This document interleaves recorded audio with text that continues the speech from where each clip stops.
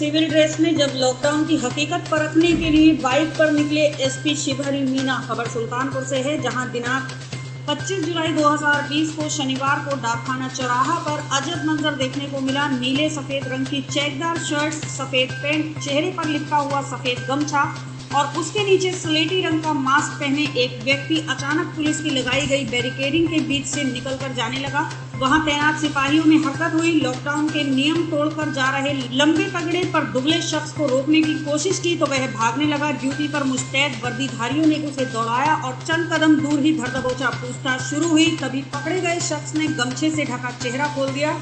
और तालियाँ बजाकर सबकी तारीफ़ करने लगा।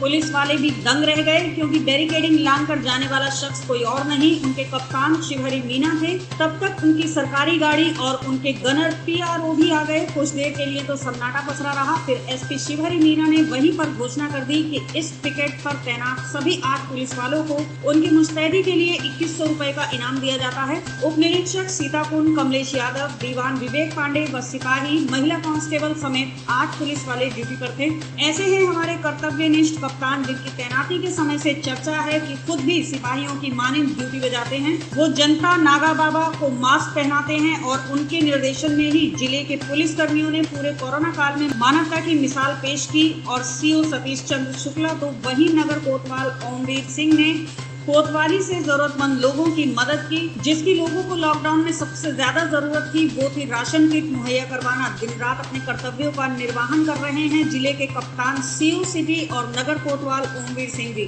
आप निकले थे क्या देखा आपने आज? आपको बता दें कि अगले सात दिवस के लिए हमारी जिलाधिकारी महोदया ने जो कोरोना का संक्रमण है उसको रोकने के लिए कंप्लीट लॉकडाउन घोषित किया है। उसी के तहत पुलिस अधिकारी कर्मचारियों को कल ब्रीफ किया गया था हमारे द्वारा ज्वाइंट, और उसी के तहत आज हम चेकिंग करने के लिए निकले थे। गाड़ी दूसरी तरफ़ भेजी गई थी और बाइक से निकले थे।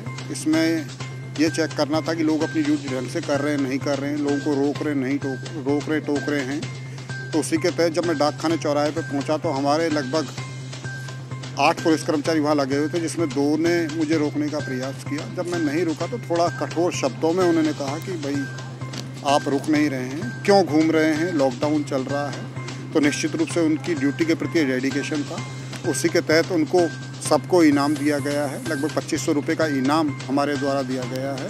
निश्चित रूप से सभी लोग मुस्तैदी के साथ ड्यूटी कर रहे हैं ये चेकिंग फ्रिस्किंग आगे भी कंटिन्यू रहेगी ताकि जितने भी अधिकारी कर्मचारी वो ड्यूटी अच्छे से करें। कब तक लॉकडाउन हुआ है? इस बीच में क्या कार्रवाई हुई है अब तक? आपको बता दें कि आज से 25 तारीख से 31 तारीख तक सात दिवस का ये कंप्लीट लॉकडाउन है। इसके तहत आज जो लोग निकले थे, उनको पहले कल ब्रीफ कर दिया गया था। उसके बाद भी कोई अगर इधर उधर घूमता हुआ पाया गया है तो लगभग 25 लोग ऐसे थे जिन्हें आज थाने पर ले जाया गया है। उनके खिलाफ मुकदमा लिखा गया है। कुछ लोग हैं जिनके विरुद्ध चालान किया गया है। इसके अतिरिक्त पूरे जनपद में लगभग सौ लोग ऐसे हैं जिनके विरुद्ध मुकदमा पंजीकृत किया गया है। और काफ़ी भारी मात्रा में चालान भी किया गया है। लोगों को समझाया भी गया है काउंसलिंग भी की जा रही है। जुर्माना भी वसूला गया जुर्माना भी काफ़ी वसूला गया है, लेकिन चूँकि जो आवश्यक सेवा वस्तु वाले लोग हैं या जो इमरजेंसी वाले लोग हैं, मानवीय दृष्टिकोण के आधार पर उनके साथ मानवीय संवेदना के तहत रियायत भी बरती गई है पुलिस